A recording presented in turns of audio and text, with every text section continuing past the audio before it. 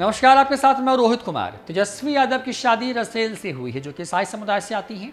ऐसे में खबर ये कि क्या बिहार की आरजेडी के नेता उनकी विशेष शादी से खुश नहीं हैं, क्योंकि उनको अभी लग रहा है कि तेजस्वी यादव ने जो किया है, उससे जो यादव वोट बैंक है, वो गुस्से में आ सकता है। हालाँकि एक्सपर्ट्स ऐसा नहीं मानते हैं। वो ये मानते हैं कि तेजस्वी यादव ने भले ही किसी से शादी की हो, लेकिन जो यादव वोट बैंक है उनके साथ इंटैक्ट है? तो ये खबर क्या है कि तेजस्वी यादव के खिलाफ एक नाराज़गी हो रही है और इसका दावा कौन कर रहा है? इसी पर बात करते हैं विस्तार से। दरअसल खबर ये है कि तेजस्वी यादव ने अचानक से शादी का फैसला किया। शादी भी अपनी जाति में नहीं, बल्कि उससे ऊपर उठते हुए उन्होंने अपने प्यार को अपनी पत्नी के तौर पर चुना। उनकी पत्नी रसेल जो है, वो मूल तौर पर ईसाई धर्म को मानती है। तो तेजस्वी यादव से शादी की जब खबरें सामने आई तो उसके बाद पहले तो खबर यही थी कि लालू यादव ने किसी को चुना होगा। लेकिन बाद में जब जब जब खबरें आई तो ये स्पष्ट हो गया कि वो गैर हिंदू है। हालाँकि किसी की अपन, ये अपना निजी मामला है और कोई भी किसी को चुन सकता है।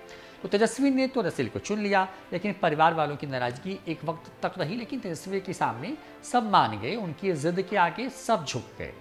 इन तमाम चीज़ों के बीच में आखिर वो कौन लोग हैं जो कि आरजेडी में तेजस्वी से जुड़े हुए हैं और तेजस्वी यादव के इस फैसले के, उन्हीं के खिलाफ खड़े हो गए हैं। तो दरअसल साधु यादव, वहाँ से शुरू करते हैं। साधु यादव जो हैं, वो लालू यादव के साले हैं, राबड़ी देवी के अपने सगे भाई हैं और तेजस्वी के मामा हैं। शादी में उनको भी नहीं बुलाया गया। वो उन्होंने तो बहुत तरह की ऐसी ऐसी बातें कही हैं जिसको शायद कैमरे पर कहना इस वक्त उचित नहीं होगा।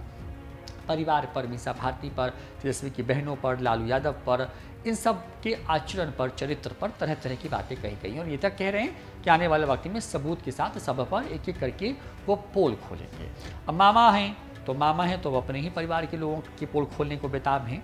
तकलीफ़ तो ज़रूर हुई होगी क्योंकि न्योता उनको भी नहीं अब बात करते हैं इसी पर, क्योंकि न्योता नहीं मिलने से अंदर खाने से खबर या उनके दावे, यानी कि साधु यादव के दावे की बात करें तो बिहार में ऐसी बड़ी संख्या में आरजेडी के विधायक हैं, नेता हैं, जो तेजस्वी यादव के इस फैसले से नाराज़ हैं। बिहार में 1990 में जब लालू यादव सत्ता में आया तो उसके बाद उनका जो राजनीतिक समीकरण था, वो एम वाई का था, जिसमें वाई स्टैंड फॉर यादव है। अब यादव वोट बैंक लालू यादव के साथ लगातार इंटैक्ट रहा है। स्थितियाँ कैसे भी हों, यादव जाति के जो लोग हैं, वो खुल करके लालू यादव को वोट करते आए हैं या फिर आरजेडी को वोट करते आए हैं। तेजस्वी यादव अब उसके नए नेता हैं। इन तमाम खबरों के बीच में जिस तरीके की स्थितियाँ बनती चली गई बिहार के अंदर में, उसके बाद अब क्योंकि कई नेताओं को पूछा नहीं गया, कईयों को बुलाया नहीं गया चाहे पार्टी के प्रदेश अध्यक्ष जदानंद सिंह हो, सुनील सिंह हो, आप पार्टी की कई प्रवक्ता हों, क्योंकि तेजस्वी के बेहद खासम खास लोग माने जाते हैं, वो सब नहीं थे। साधु यादव ने तो यही कहा था कि ये सादगी भरी शादी कैसे हो सकती है, जिसमें इतना तामझाम था?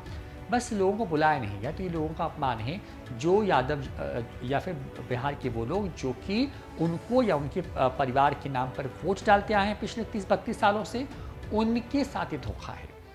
आपको क्या लगता है? क्या सच में तेजस्वी यादव ने धोखा दिया है?